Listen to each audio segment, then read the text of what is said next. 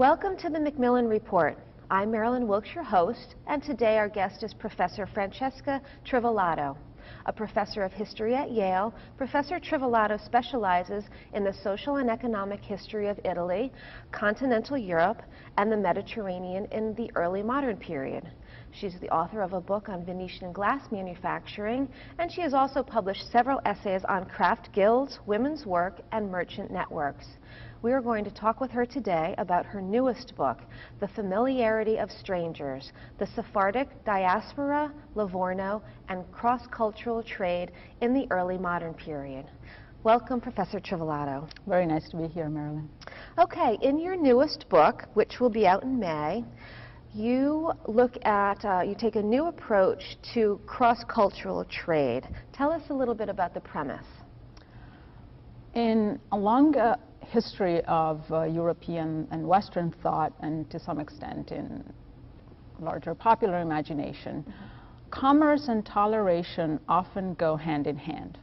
And historically, it's true that society that have engaged in trade with uh, um, groups of different religious and uh, uh, ethnic uh, background, especially port cities or coastal society, tend to be more upper mobile, more open-minded if we want. But we also know that historically trade has coexisted with war, conquest, with the segregation of merchants group within, uh, uh, for example, within port cities, uh, and with religious prejudice more, more generally. So the premise of, of this book is that in order to trade across religious and ethnic boundaries, merchants need to have some understanding of each other's culture. Uh, at the very least, they need to have a language in common. Sometimes they hire translators, but they need to be able to communicate. They need to have a sense uh, of what legal norms uh, can be used in order to adjudicate potential disputes and how to find recourse in case of fraud. But merchants need not to embrace each other culture, you know, fully so that uh, you can trade with somebody if you have enough trust that say they will repay your credit, uh, they will fulfill uh, your orders, they will uh, abide by the promises they make to you. But it doesn't mean if you're a merchant that you want to marry your daughter to them or that you want to invite them to the same place of worship where uh, you go weekly, for example. Okay, and what drew you to this topic? Um, I'm fascinated by how market relations work in different times and in different places. And the history of Europe between around 1500 and 1800, which is the period that historians call the early modern period. Um, it's particularly fascinating because this is a time when uh, um, European societies became uh, more open, more upper mobile, uh, when certain stigma against merchants uh, began, began to decline in comparison to the previous, say, feudal period. It's also a period when uh, certain uh, religious uh, groups and ethnic diasporas that were heavily involved in trade, including Jews, are given unprecedented rights relatively to, to the time period, in part because of the perceived commercial abilities of these groups. and yet at the same time, European society in this period, uh, in the early modern period, remained very hierarchical and uh, uh, segregation persisted and religious prejudice persisted. So I was interested, first of all, in understanding how cross-cultural trade could work in this context and also what it might mean for the people involved in it. and I say this because we tend to uh, assume that you know Jews traded with Jews, Quakers traded with trader, excuse me, uh, Quakers traded with Quakers, or Huguenots uh, traded with Huguenots. Uh, and on the other hand, some historians and some scholars also in the social sciences tend to assume that for these uh, uh communities to trade with each other, there need to be a modern uh, legal system that emerges and that adjudicate um, uh, disputes when they arise. But um, the everyday reality of trade, I found, was more complicated. And in fact, social and legal forms of enforcement of, um, of uh, commercial obligations tended to coexist. So why Livorno? Why did you choose this city in Italy? And give us an idea of where it's located in, in Italy as well. Livorno is a coastal uh, port city in uh, Tuscany. And I was drawn to Livorno by both intellectual and scholarly reason and to some extent by chance. And my interest in Livorno has to do with the fact that uh, most European scholarship on early modern global trade focuses on the Atlantic and to some extent on the Indian Ocean. And we tend to forget that the Mediterranean continued to be uh, an important uh, uh, uh, geopolitical and commercial area. And Livorno in particular was a major international hub. In the late 16th and early 17th century, the Medici Grand Dukes of Tuscany transformed a small village into a large international port city. And Livorno, in fact, has an English version of its name. It's called Leghorn because it was the British outpost in the Mediterranean. There were a number of uh, uh, foreign and uh, religious and ethnic minorities who operated there as merchants. And in particular, which was part of my interest, uh, Livorno was a, had a very large community of Iberian Jews, Sephardic Jews, the descendants of those Jews who had been expelled from Spain in 1492. The largest community of Sephardic Jews in Europe and the New World was in Amsterdam, and it's studied, uh, uh, uh, has been studied quite a lot, and Livorno has not been studied very much. And when I say that I was also drawn to Livorno by chance is because uh, one of the reasons why Livorno has not been uh, investigated as much as others say, you know, London or, or, or Philadelphia or more well-known uh, port cities is because its archival records uh, are rather poor. Part were destroyed in the late 19th century, and then uh, during the um, bombings of World War II, part went into flames.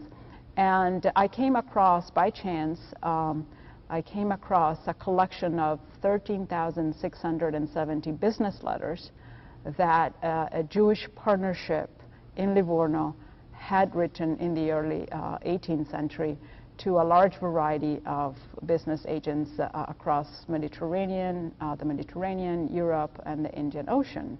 And as I began to read these letters, I found that um, a considerable number was addressed to Christian, Catholic particularly, merchants, and even to a group of Hindu merchants in, um, in Goa, in which was the capital of Portuguese uh, India at the time. And uh, I thought that was really fascinating, and I was hooked. Mm -hmm. Um, that is very interesting. So let's um, talk a little bit um, uh, in specifics about the research you've done. I imagine you've had to travel to Livorno, which I, I imagine was pretty wonderful. Um, what else did you have to do in order to pull the book together? Well, uh, so these uh, uh um, Jewish merchants who uh, lived and traded, lived in Livorno and traded from there were part of an intercontinental diaspora. And also, as these letters show, they had extensive and, and, durable commercial relations uh, with the merchant communities uh, uh, very far uh, geographically and culturally from them. So I decided to follow the traces, uh, you know, to follow in the footsteps of these, uh, of these merchants' letters. And um, it was not enough for me to do the research in Tuscany in order to appreciate the global dimension of their commercial activities. Um, in Lisbon, I found a lot of interesting material in the archives of the parish church in which Genoese and, and, and, Florentine merchants, Catholic merchants who traded regularly with the Jews in Livorno congregated. In Goa, in India, I found uh, some very interesting uh, business letters written by uh, a group of Hindu merchants who traded with Europeans regularly and who were able uh, to do so partially because uh, they acquired the etiquette and the standards of business letter writing that also had some legal implications. In Paris and in Marseille, I found a lot of documents that documented the, the activities of the Jews of Livorno in the Mediterranean because uh, in their commercial activities in the Ottoman Empire, the Jews of Livorno were under French diplomatic protection. In London, I found a lot of last wills testaments of Jews of Livorno who invested part of their money in the British stock exchange and public debt.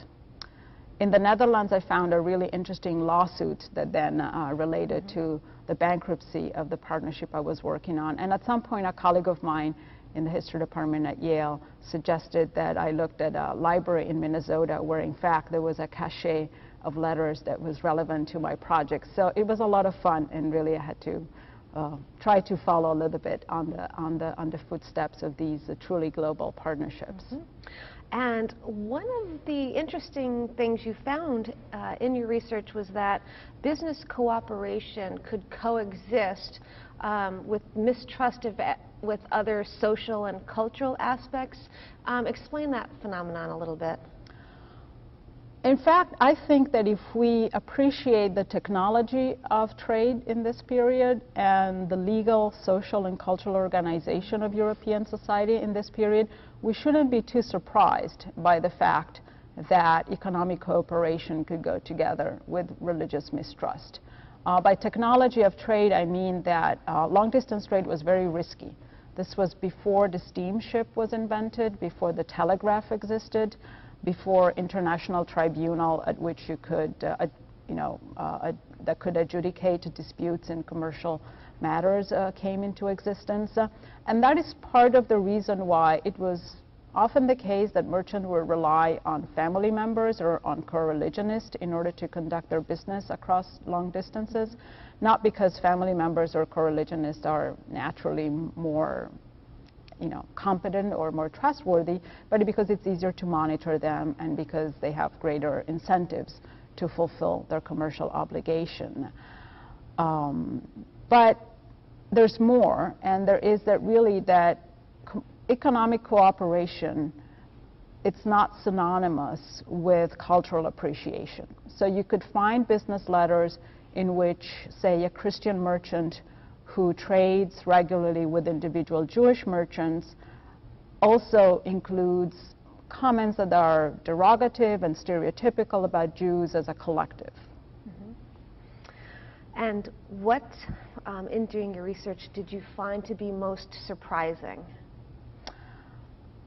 I was surprised by the extent of the connections that existed between the Mediterranean and the Indian Ocean in this period the items of trade where the Mediterranean red coral was exported to India, where it was highly valued, and it was bartered, exchanged with uh, Indian diamonds and other precious stones. I was surprised uh, by the extent to which the Jews of Livorno were central to this intercontinental trade, and particularly because by this period, very few of them uh, would travel there in person, and so they did not know, they did not have met personally the Hindu traders to whom they entrusted their business, uh, and instead they relied on this uh, very um, highly standardized etiquette of business, write, of business letter writing.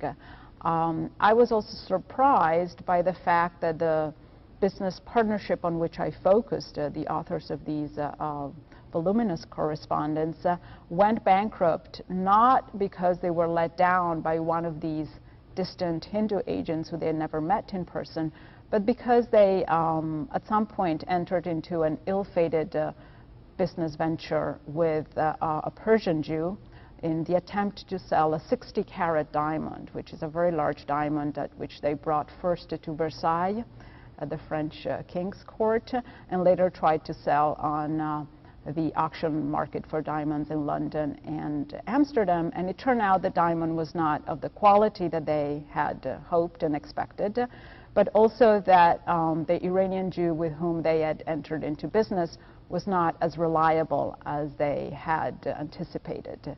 So I was surprised that the, by the kind of tensions within the broadest uh, uh, world of, of Jewish business that I had investigated. Thank you very much for being with us here today and sharing some of your book with us, The Familiarity of Strangers. For more information about Professor Trivellato and her research, please visit our website at yale.edu backslash Macmillan Report. Be sure to join us again for another episode of the MacMillan Report, made possible through funding from the Whitney and Betty MacMillan Center for International and Area Studies at Yale.